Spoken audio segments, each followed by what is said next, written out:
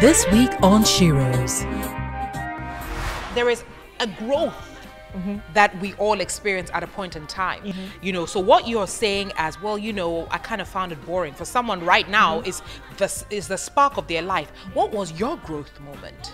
My growth moment was actually when I went into postpartum depression after I had my son.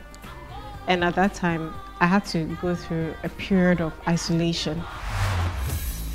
There is more on Anita Erskine's Sheroes right here on Akwaaba Magic.